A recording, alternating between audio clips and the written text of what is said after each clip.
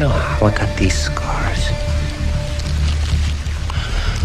My father was a drinker and a fiend. And one night, he goes off crazier than usual. Mommy gets the kitchen knife to defend herself. He doesn't like that.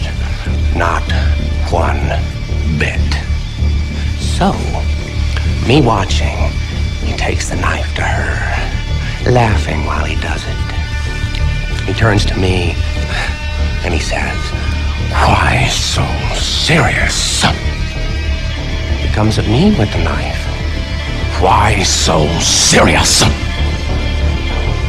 He sticks the blade in my mouth. Let's put a smile on that face.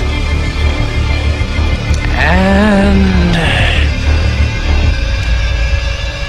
Why so serious?